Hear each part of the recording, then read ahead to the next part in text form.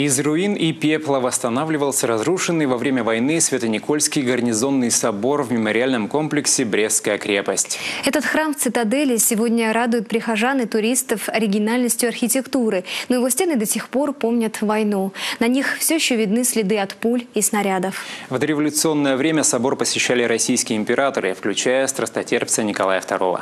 Подробнее о святыне расскажут наши коллеги из белорусского города Бреста. Гарнизонный собор в честь святителя Николая находится на территории мемориала Брестская крепость и расположен в удаленном месте от жилых районов города. Здесь немного постоянных прихожан, однако храм часто посещают туристы и почетные гости. В дореволюционное время в соборе бывали российские императоры, в том числе и страстотерпец Николай II. Здесь когда-то был город Брест на месте Брестской крепости.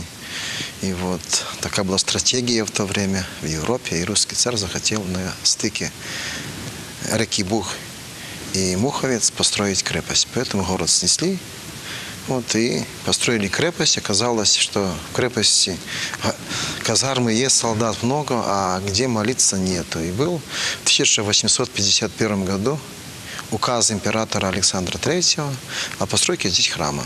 Из-за несоответствия планировки здания стратегическим целям комплекса «Цитадели» церковь несколько раз перестраивалась, пока не приобрела нынешнюю форму.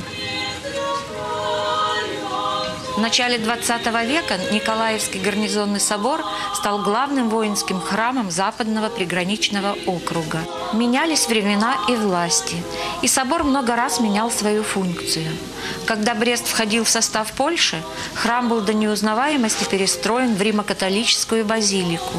В советское время его переоборудовали в гарнизонный клуб – ходе боев в июне 41-го здание стало важным пунктом обороны, так как расположено на самом высоком месте острова, откуда хорошо просматривается вся территория цитадели. Храм был изуродован пулями, осколками гранат и снарядов, но, несмотря ни на что, уцелел.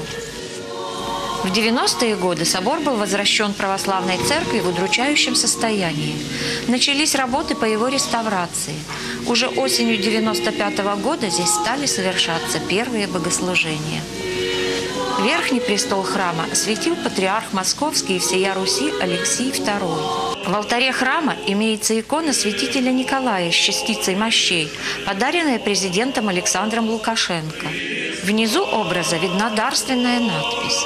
Икону выносят на поклонение в престольный праздник.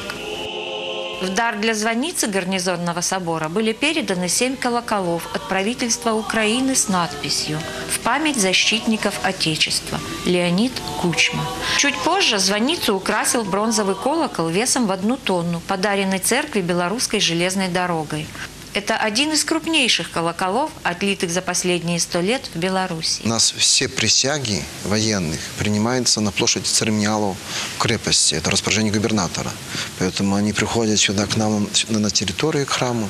И здесь все это, конечно, проходит с участием клириков нашего храма.